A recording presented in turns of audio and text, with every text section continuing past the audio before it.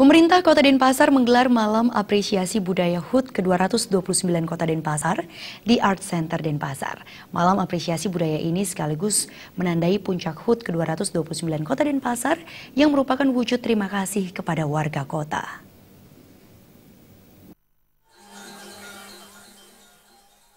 Malam Apresiasi dan Budaya HUT ke-229 Kota Denpasar mengambil tema meningkatkan daya saing lokal guna memperkuat Denpasar kota cerdas menuju masyarakat sejahtera. Wali Kota Denpasar Ide Bagus Rai Dharma Wijaya Mantra mengucapkan terima kasih kepada stakeholder pembangunan di Kota Denpasar yang bergotong royong dan terus-menerus membangun Kota Denpasar sehingga pembangunan dapat dinikmati generasi penerus.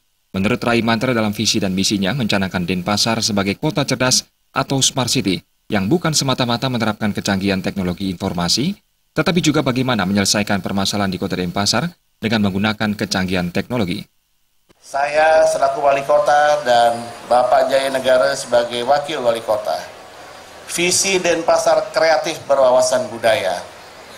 Kami perkuat dan kami kembangkan dalam bentuk-bentuk untuk mencari solusi penyelesaian-penyelesaian permasalahan kota.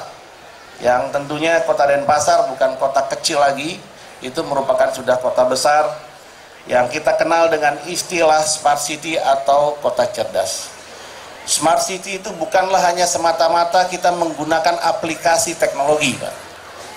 Tapi bagaimana kita bisa menyelesaikan permasalahan-permasalahan kota itu dengan bantuan-bantuan teknologi itu sendiri.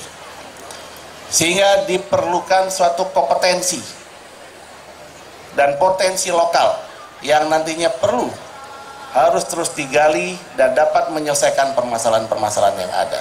Rai Mantra menambahkan Denpasar juga mengembangkan diri sebagai kota kompeten, yang berarti kota Denpasar ke depan membutuhkan pertumbuhan ekonomi berkualitas dan hanya mampu ditopang dengan kompetensi yang jelas.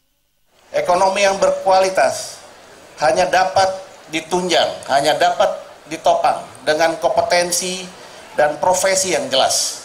Dan untuk itu Kota Denpasar telah melakukan, telah mulai melakukan Sebelum kami dilantik pada tahun 2016, kami beserta wakil wali kota Denpasar, beliau sudah sepakat bahwa kita declare kota Denpasar sebagai kota kompeten.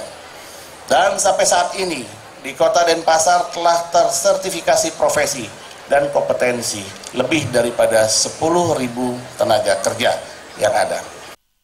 Pada malam apresiasi budaya puncak peringatan HUT ke-229 Kota Denpasar, selain diisi hiburan yang dipersembahkan bagi ribuan warga Kota Denpasar yang memadati panggung terbuka Arda Chandra, pemerintah Kota Denpasar juga memberikan penghargaan kepada siswa-siswi berprestasi tingkat nasional, guru berprestasi, LPD Teladan, dan seniman tua Kota Denpasar.